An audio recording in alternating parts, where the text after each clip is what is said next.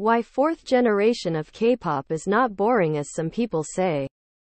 There are a lot of videos on YouTube about 4th gen is boring but I would like to add some points as to why 4th gen is not boring.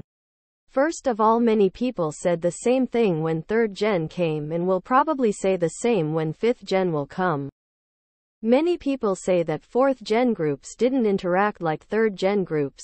Well that's because as the K-pop is growing globally the amount of fans are also growing. And there are people who literally ship idols horribly.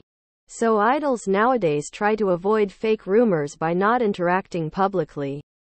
Another thing that a lot of third gen fans say is that fourth gen groups didn't sing live and only dance. Well then I think these people might have not heard of TXT, Stray Kids, ATEEZ and ITZY. These groups are literally the top fourth gen groups and they are known for their hard choreography and stable vocals. People also say that fourth gen groups are doing the same concepts that their seniors did before and every group is making the same kind of music.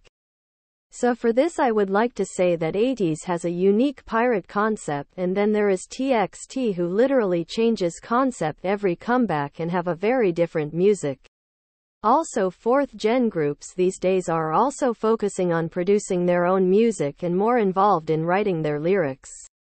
Yeah, I agree that companies nowadays are debuting more underage idols, but even idols like Boa, Taemin and Jungkook debuted very early. These people say that debuting underage idols is wrong and it will affect their mental health. But the same people tend to forget about their mental health when they sexualize and hate these idols endlessly. Every K-pop generation is different from each other and special in their own so we shouldn't hate on any generation. No matter which generation it is one thing always remains the same and that is hard work of these idols. So please love all of them.